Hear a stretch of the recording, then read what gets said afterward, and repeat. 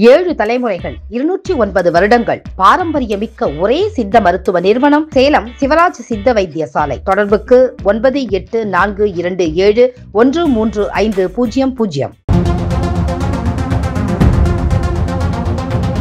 வேலூர் மாவட்டம் பேராணம்பட்டு நகராட்சியில் நேற்று இரவு ஆணையர் சையத் உசேன் தன் அரசு அலுவலக இருக்கைக்கு பின்புறம் இருந்த கண்ணாடி பேடையில் அரபு மொழியிலான எழுத்துக்களுடன் தமிழக அரசு சின்னம் பதித்து வைத்தது சர்ச்சையை கிளப்பியுள்ளது.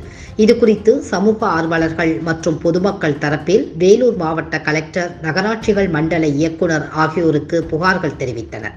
இந்நிலையில் திடீரென இரவோடு இரவாக நகராட்சி ஊழியர்களால் அந்த கண்ணாடி பேழை அகற்றப்பட்டது.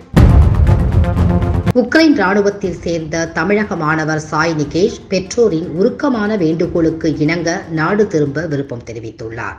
கோவையை அடுத்த துடியலூரை சேர்ந்த இவர் போர் நடைபெற்று வரும் சூழலில் உக்ரைனில் இருந்து சொந்த நாடு திரும்பாமல் அந்நாட்டில் உள்ள ஜார்ஜியா நேஷனல் லெஜியன் துணை ராணுவ பிரிவில் சேர்ந்து ரஷ்யாவிற்கு எதிராக போரிட்டு வந்தார். ஊருக்கு வரும்படி பெற்றோர் அழைத்ததற்கு ராணுவத்தில் பணியாற்ற வேண்டும் என்ற தனது ஆசையை நிறைவேற்றிவிட்டதாக தெரிவித்து வர மறுத்துவிட்டார். இந்நிலையில் உன்னை பார்க்க ஆசையாக இருக்கிறது. போர் முனையில் நீ இருக்கும் சூழலை கேட்கும் போது நெஞ்சம் பதைபதைக்கிறது என்றும் உன்னை விட்டால் எங்களுக்கு யார் இருக்கிறார்கள்? என உருக்கமாக பேசி அவரது பெற்றோர் அழைப்பு விடுத்தனர். இதனை கேட்ட சாய் நிகேஷ் தனது பிடிவாதத்தை விட்டுவிட்டு கோவை திரும்ப விரும்புவதாக அவரது பெற்றோரிடம் கூறினார். இந்த தகவலை உளவுத்துறை உதவியுடன் இந்திய தூதரக அதிகாரிகளை தொடர்பு கொண்டு பெற்றோர் தெரிவித்தனர். இந்நிலையில் சாய் நிகேஷ் பொறுமையுடன் இருக்குமாறும் அவரை நாட்டிற்கு அழைத்து வருவதற்கான நடவடிக்கைகளை மேற்கொண்டு வருவதாகவும் அவரின் பெற்றோரிடம் தெரிவிக்கப்பட்டது. அதோடு உக்ரைனில் இருந்து அவரை மீட்பதற்கான நடவடிக்கைகளை மத்திய அரசு மேற்கொண்டு வருகிறது.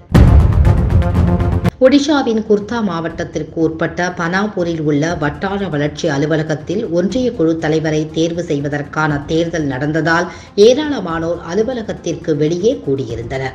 ஒடிஷாவின் ஆளும் கட்சியான பிஜு ஜனதா தள கட்சியில் இருந்து இடைநீக்கம் செய்யப்பட்ட எம்எல்ஏவான பிரசாந்த் ஜெகதேவ் ஓட்டிச் சென்ற கார் எதிர்பாராத விதமாக அலுவலகம் முன் கூடியிருந்த கூட்டத்திற்குள் புகுந்தது. இதில் ஏழு போலீசார் உட்பட இருபத்தி இரண்டு பேர் பலத்த காயமடைந்தனர். ஆத்திரமடைந்த அப்பகுதி மக்கள் அவரை பிடித்து சரமாரியாக அடித்து உதைத்தனர்.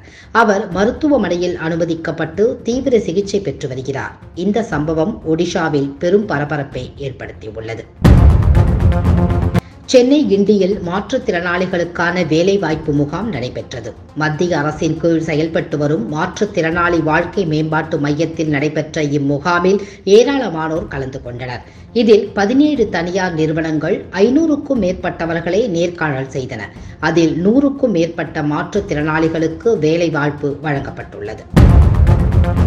உக்ரைன் ரஷ்யா போர் மற்றும் இந்தியாவின் பாதுகாப்பு மற்றும் உலகளாவிய சூழல் குறித்து பிரதமர் மோடி தலைமையில் உயர்மட்ட ஆலோசனை கூட்டம் டெல்லியில் உள்ள பிரதமர் இல்லத்தில் நடைபெற்றது. இந்த ஆலோசனை கூட்டத்தில் பாதுகாப்புத்துறை அமைச்சர் ராஜ்நாத் சிங் வெளியுறவுத்துறை அமைச்சர் ஜெய்சங்கர் மத்திய நிதியமைச்சர் நிர்மலா சீதாராமன் வெளியுறவுத்துறை செயலர் ஹரீஷ் ஸ்ரிங்லா மற்றும் தேசிய பாதுகாப்பு ஆலோசகர் அஜித் தோவல் உள்ளிட்டோர் கலந்து கொண்டனர். இந்த ஆலோசனை கூட்டத்தில் விவாதிக்கப்பட்ட பல்வேறு அம்சங்கள் தொடர்பாக கூட்டத்தின் முடிவில் அதிகாரப்பூர்வ செய்தி அறிக்கை வெளியாகும் என எதிர்பார்க்கப்படுகிறது. சென்னை யோகமாயா ஸ்ரீ புவனேஸ்வரி பீடாதிபதி பரமஹம்ச ஸ்ரீ பரத்வாஜ் சுவாமி இன்று திருப்பரங்குன்றம் மலையில் கடும் வெயிலில் சுடும் பாறையில் அமர்ந்து உக்ரைன் நாட்டில் நடைபெறும் போர் முடிவுக்கு வர வேண்டியும் சமாதானம் அடையவும் உயிர் சேதம் அடையாமல் இருக்கவும் உலக அமைதிக்காகவும் சிறப்பு பிரார்த்தனை செய்தார். தமிழ்நாட்டில் நீர்நிலைகள் நிறைந்து ஓடவும் பயிர்கள் சிறந்து விளங்கவும் கொரோனா போன்ற வைரஸ் நோயின் தாக்கத்தில் இருந்து இந்தியா விடுபடவும் விரதமிருந்தார். திருப்பரங்குன்றம் மலையில் கடும் வெயிலில் பரத்வாஜ் சுவாமி தவம் செய்ததை பார்த்து பொதுமக்கள் தரிசனம் செய்தனர். மான்செஸ்டர் யுனைடெட் மற்றும் டொட்டர்ஹாம் ஹார்ஸ்பூர் கால்பந்து அணிகளுக்கு இடையே நடந்த இங்கிலீஷ் பிரீமியர் லீக் கால்பந்து போட்டியில் ரொனால்டோவின் ஹேட்ரிக் கோல்களால் மூன்று இரண்டு என்ற கோல் கணக்கில் மான்செஸ்டர் அணி மிக முக்கியமான த்ரில் வெற்றியை பெற்றது. அத்துடன் ரொனால்டோ சர்வதேச மற்றும் கிளப் கால்பந்து போட்டிகளில் எண்ணூற்றி ஏழு கோல்களுடன் அதிக கோல்களை அடித்த வீரராக சாதனை புரிந்துள்ளார். டெல்லியில் கட்டப்பட்டுள்ள திமுகவின் அலுவலகமான அண்ணா அறிவாலயத்தை ஏப்ரல் இரண்டாம் தேதி முதலமைச்சர் ஸ்டாலின் திறந்து வைக்க உள்ளார்.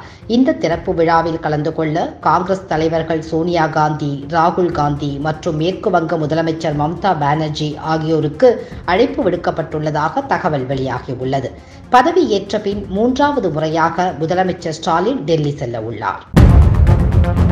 ஜம்மு காஷ்மீரின் பல்வேறு பகுதிகளில் பாதுகாப்பு படையினர் நடத்திய தாக்குதலில் லக்ஷர் இ தொய்பா ஜெய்ஷ் இ முகமதுவின் கமாண்டர் உள்ளிட்டோர் அடுத்தடுத்து கொல்லப்பட்டனர்.